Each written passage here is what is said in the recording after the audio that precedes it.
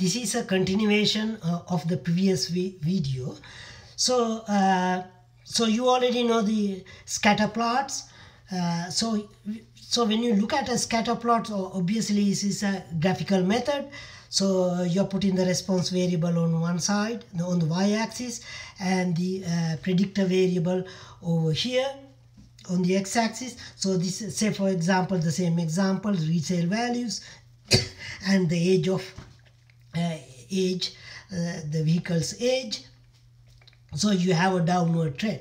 So when you examine uh, scatter plots essentially what you are looking at is that uh, look for overall pattern whether you have a downward trend or whether you have an upward trend something like that. Those are the things you are looking at. The direction okay overall pattern. Sometimes you know they may go like that or may have a straight line type thing. See this one seems like this is a little bit going down like that okay? Maybe there's a straight line sort of like that way um, have a pattern like that or maybe going like that and going up. You don't know it's depend on the situation. Or maybe going up and going down whatever that might have a seasonal effect with effect with some date okay? Things like that. So the direction. The strength of the relationship. Whether the the data this the pattern they're so close to the each other. Things like that. So like uh, the other thing this one any possible outliers. That's important also like uh, you remember that in the beginning of the semester when you're looking at these uh, histograms and the box plots we were looking at the outliers how to see whether there's any issue with certain data. Say for example these are the resale values. Say if you look at this it has a sort of a nice trend. But here if you look at this this one this one is kind of stand standing out from the rest maybe that the car belongs to uh, like a maybe the mileage is very low something like that. So it is was not used at all. So even though it is old car so no mileage nothing in there. The car is in a tip-top condition. Or maybe like a old lady or somebody use the car okay situation like that is a probably the uh, outlier compared to the rest. So it's standing out uh, out from the rest okay? Situation like that. Also so those are the things you are looking at whether there are any certain issues with certain data or like uh, what kind of model you want to use down the road whether you want to uh, whether you can use a straight line type thing or you have to have a curved line to fit the data things like that okay? So uh, anyway it's a graphical method. So also uh, can use categorical variables in scatter plots.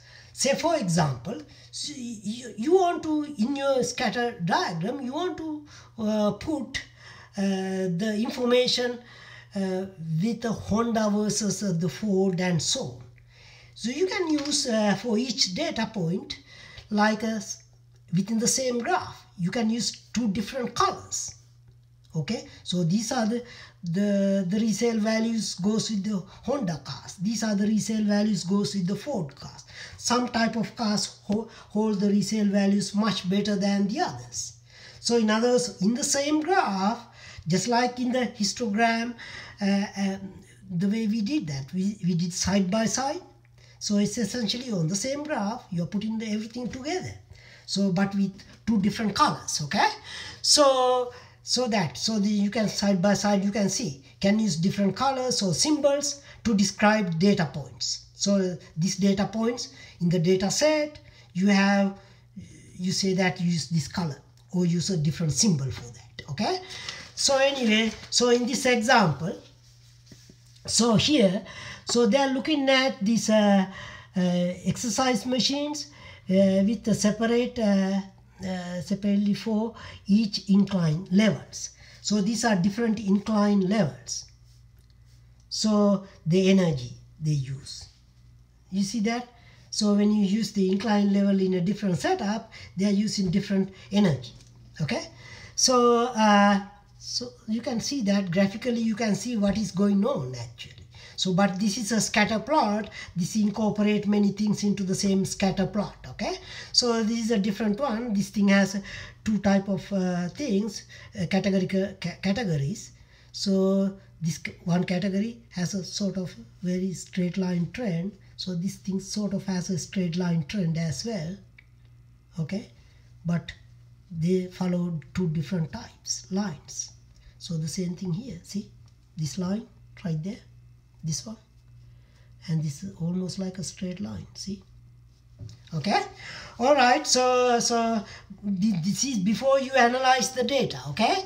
So here you're trying to see what is going on. So the next we are going to look at so suppose you know now you see that like a straight line type thing.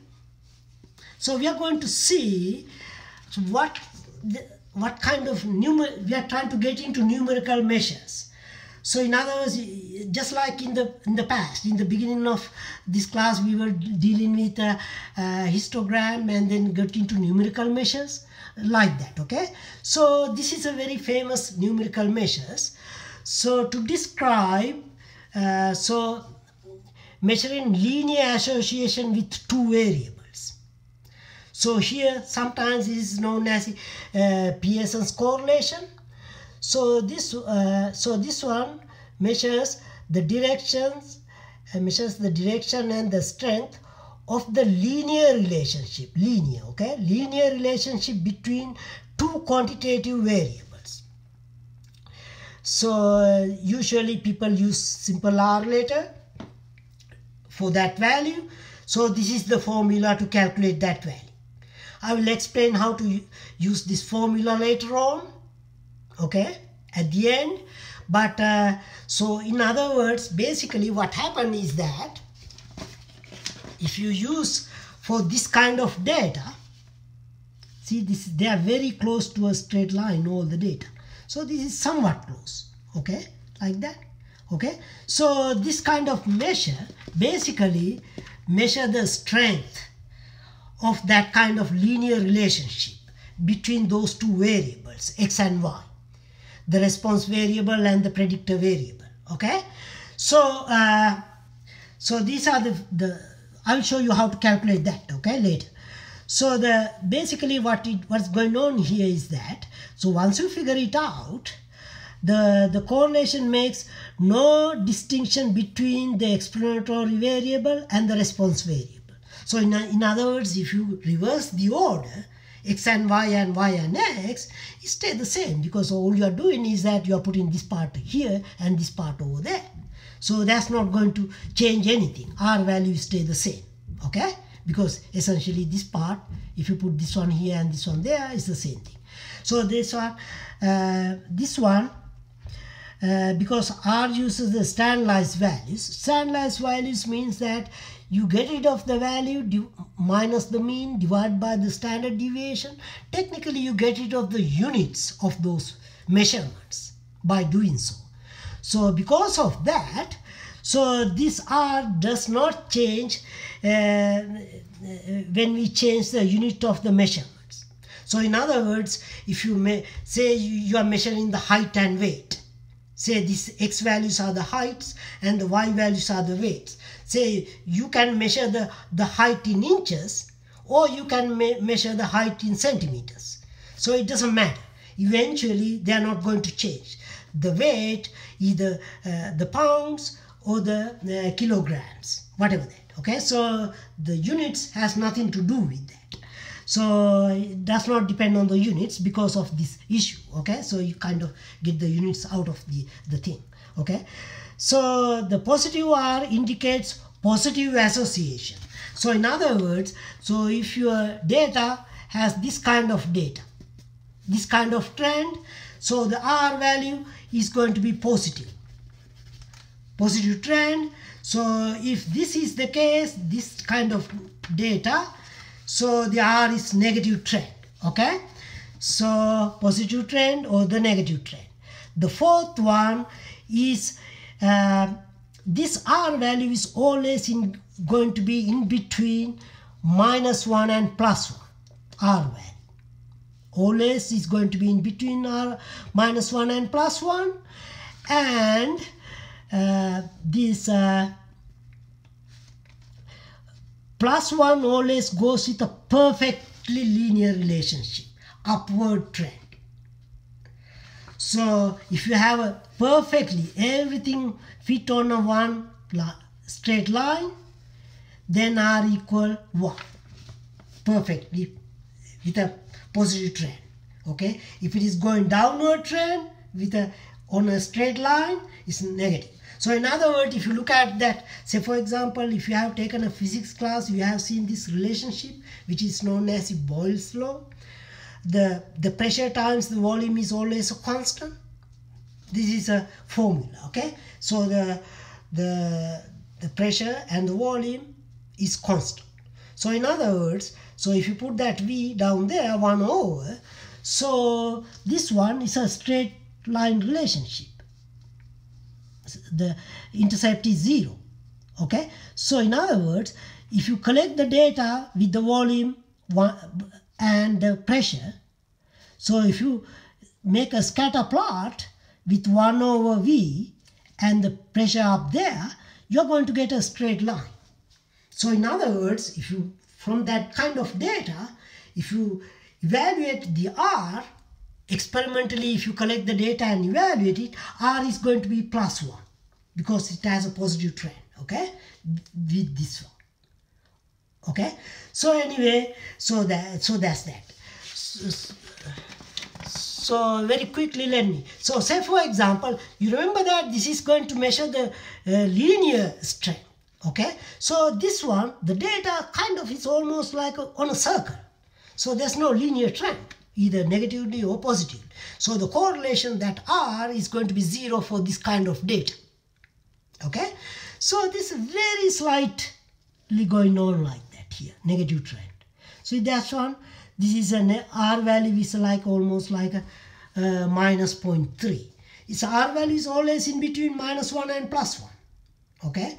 So it's a slightly negative trend. So positive trend see this this one example r relation uh, uh, correlation is 0.5 okay so this is a minus 0.7 negative trend.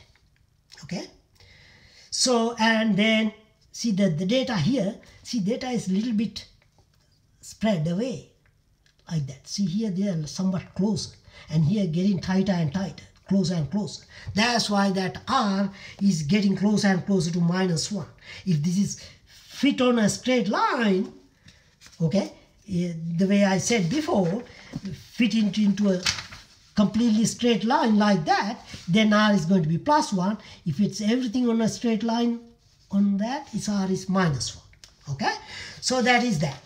So, uh, so uh, let me stop here and in the next video, let me show you how to figure out the r uh, for a data set.